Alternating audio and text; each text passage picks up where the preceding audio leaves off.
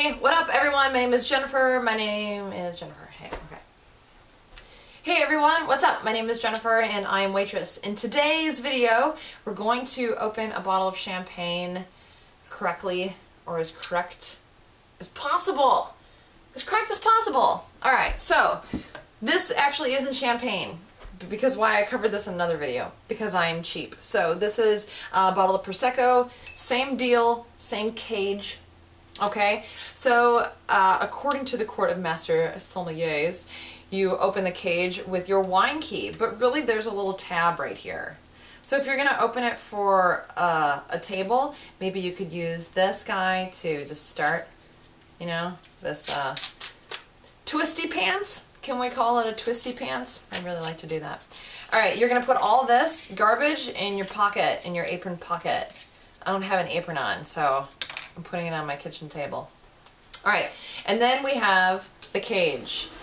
So, the cage is wire. See? It's just a, a thing. It's just a thing.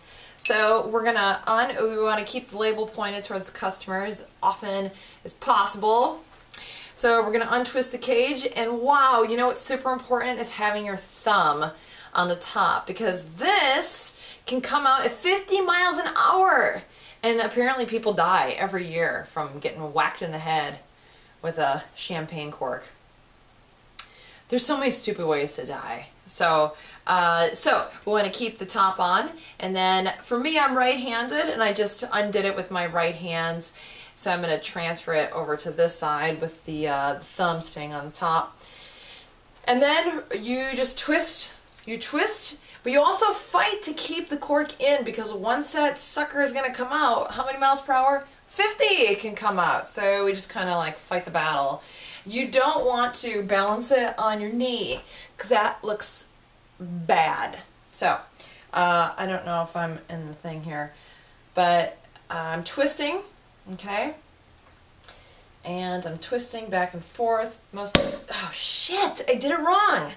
It's not supposed to make that noise. It's supposed to go tss, but you you see the importance of fighting to keep it back in the in the in the neck of the bottle. I'm gonna try to defend myself right now. I think if I had had the leverage of being down here, but I really wanted you to see it, so whatever. Write your shitty comment, that's fine. Um, when you present, you are going to present the cork to the customer, not the cage, not the cage. You can put the cage in your pocket and you're just going to present this to the customer. You, did you know, uh, you see how this mushrooms out? You can tell that this champagne bottle is relatively new because it it blooms out. If this was a, oh, I keep calling it champagne, it's not. It's cheap Prosecco. Um, if, but still, same rules apply. If this had been old, if it had been in here for seven, eight, nine, ten, whatever years, this would be smushed down and it'd be one size.